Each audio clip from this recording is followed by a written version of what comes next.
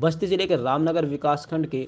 बरडीहा खास के सभा प्रधान प्रतिनिधि मनोज कुमार की तरफ से सभी देशवासियों को गणतंत्र दिवस की हार्दिक शुभकामनाएं